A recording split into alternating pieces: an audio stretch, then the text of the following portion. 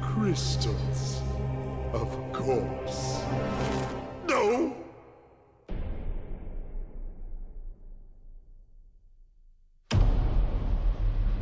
But Dr. Cortex, to reach full power, we need not only your master crystal, but also the remaining 25 slave crystals from the surface. How do you expect to retrieve them when- when we don't have any earthbound operatives left? You fool! Do you think I'm unaware of the situation? If we don't have any friends left on the surface, then we'll need to find an enemy.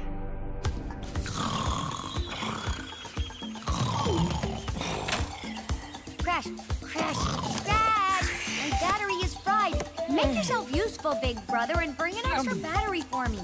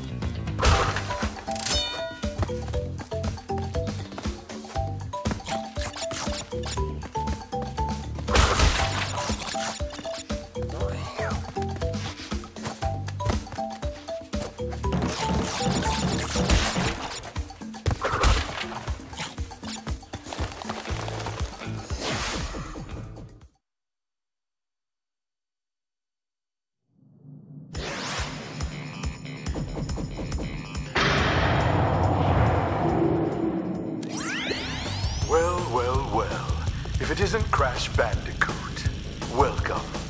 I apologize for the crude means used to bring you here, but I'd rather expect a written invitation would have been turned down.